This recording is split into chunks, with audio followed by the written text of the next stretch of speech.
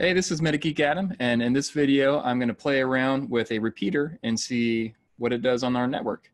So this repeater came from Mr. MetaGeek himself. I've never used the repeater. I don't know if it's still configured, what it's going to do when I plug it in, uh, what any of it's going to look like. Um, I've never played around with a repeater before, so this is kind of just an experiment to see what it does. So first up, I'm going to go find a spot to plug it in.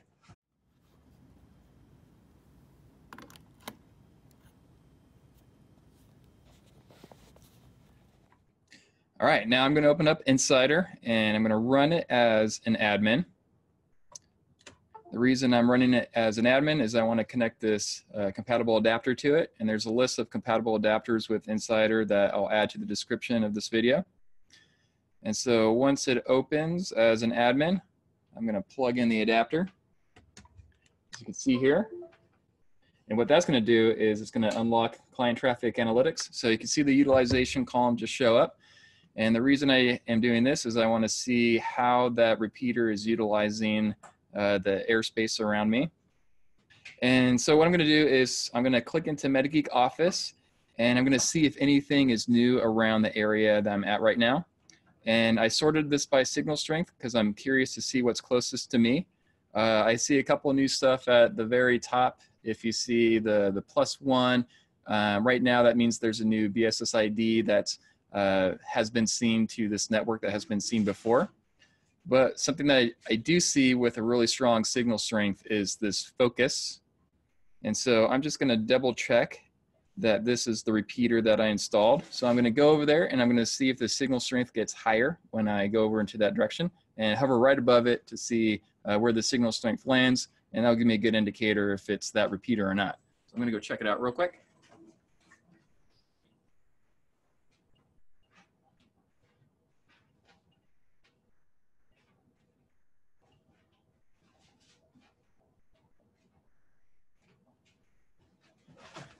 Well, that definitely was it. Uh, you can see it go up to negative 10 dBm. I basically had the antenna of the adapter right on top of the antenna of the repeater.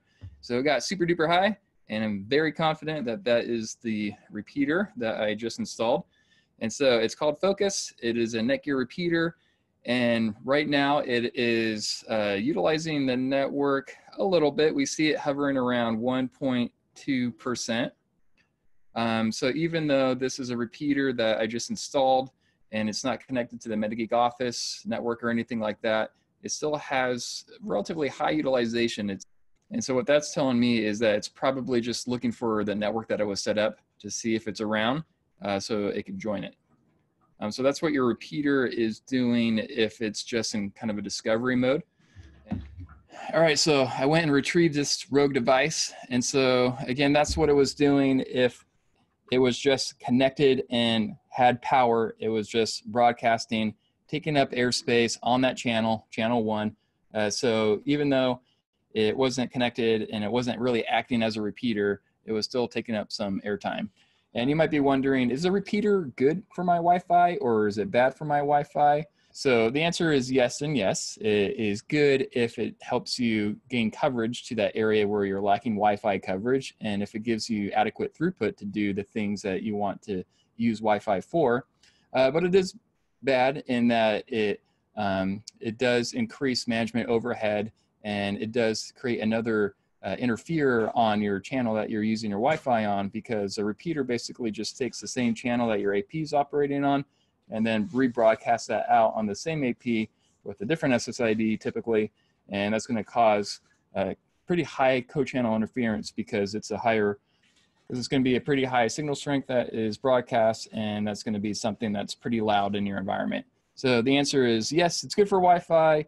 Uh, yes, it's bad for Wi-Fi, and it really just all depends.